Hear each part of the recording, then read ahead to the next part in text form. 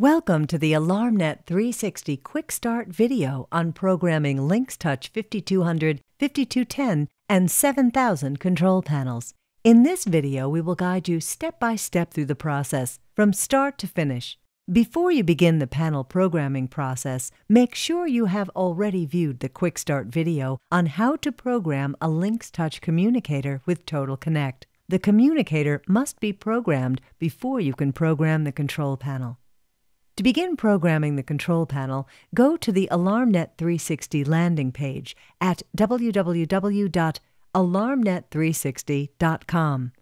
To log into the secure site, use your current AlarmNet Direct credentials, which are your username and password. If you do not have a login, please click on the Dealer Sign Up link and follow the instructions. Once the sign up form is successfully completed, you will have access to AlarmNet 360. Once you have successfully logged into AlarmNet 360, you will be on the Device Programming page. Enter the AlarmNet account number or MAC ID of the AlarmNet communicator that is associated with the Lynx Touch 5200, 5210, or 7000 control panel you will be programming. Then click Search. Next, click on the blue arrow to the right of the Edit box. This opens the panel programming page in a new tab. Here, the Account Overview screen is displayed. This is an overview page that shows the customer's location information, the AlarmNet services selected, the type of control panel, and the communicator details. If you click the Settings menu option on the left, you can customize the Lynx Touch control panel's overall operational settings such as system settings like the control panel clock, two way voice, and more. Next, you can set the area settings, such as entry and exit delay times, and custom arming features such as Quick Arm. You can change your AlarmNet communicator settings, such as supervision levels and internal settings. Select reporting channels, such as the Contact ID format and the alarms that get reported to the central stations, and reporter settings, such as report selections, low battery and trouble signals, and panel event logs. Some of the features in each section of this page are hidden upon first view.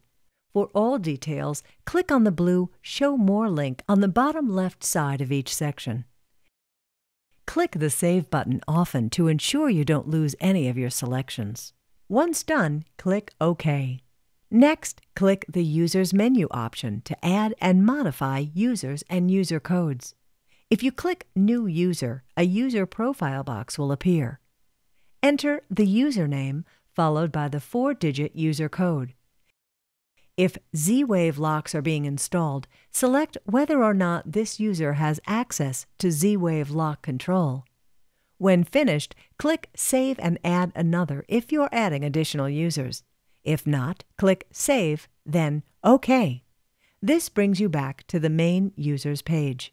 To enroll a new wireless device, click the Sensors menu item on the left. Then click the Add Sensor box on the right, and a sensor screen will appear. Enter the serial number of the 5800 wireless sensor then select the zone number of the device, followed by the loop number from the drop-downs. The loop number is dependent upon the device being enrolled. If you are unsure, consult the installation instructions that came with the device. Next, click the device type, response type, and supervision level, either supervised or unsupervised. Then create a custom description to identify the zone. Next, select the chime sound from the dropdown. Finally, deselect the Alarm Report box only if you do not want the zone to report to the central station. It is checked by default. Once the information is complete, click Save and add another if you need to enroll an additional sensor. When you are finished, click Save, then OK. To add a key fob, click the key fob's menu item on the left, and the Add Key Fob screen will appear. First, select the number of buttons on the key fob from the drop-down menu. Next, enter the 7-digit serial number of the device.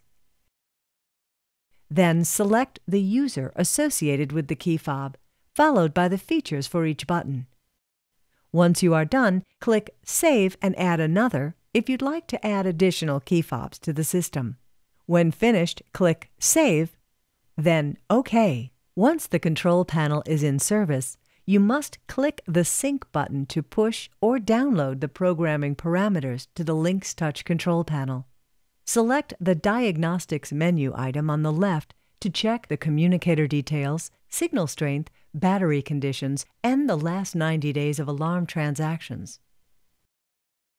The Event Log page displays the events and contact ID or CID codes and any SIA codes for system events that have taken place within the panel, such as recent openings and closings, alarms, and trouble conditions that may have occurred. Select the Get Activity button to access the Activity log page. To view all transactions that have taken place within AlarmNet 360 for the account over a 90 day period. Congratulations! You have successfully programmed your Lynx Touch 5200, 5210, or 7000 control panel on AlarmNet 360. For additional assistance getting started with AlarmNet 360, please view the other Quick Start Help videos located on the website.